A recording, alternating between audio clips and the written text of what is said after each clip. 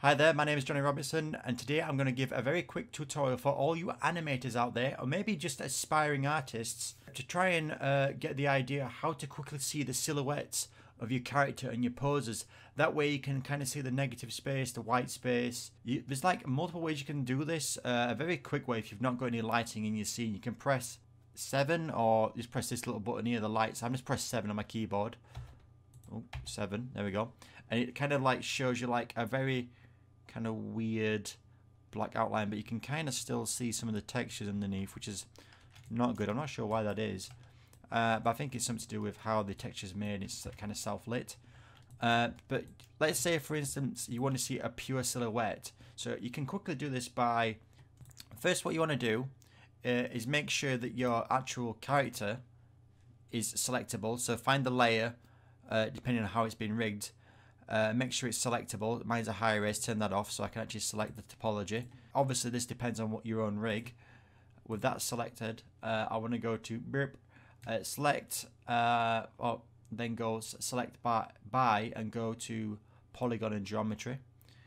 With that selected, uh, then go to your renderer. Click on the uh, create new layer and assign selected objects. Click on that. Get a second. Let's create a new layer now. Uh, I'm going to rename this um, Sil, because I can't spell silhouette. Not that good, Jesus. You want to right click, uh, then go to override, click on, oh god, override, click create new material override, and then you want to go to, I think it's called the surface shader, wherever that is. Ah, there it is. I missed it. Blind. I'm blinded. Click on that. Give it a second. And now, hopefully, yes. See how there's no light textures anymore there. And then all you need to do, because sometimes it, if you put a light in the scene now, um, if I was good, I'd know the shortcut to this, but I'm not that good. Create a light, an ambient light. You notice it's not affecting the actual model and you can still see that nice silhouette. And all you need to do is click on this button there and it turns it back on.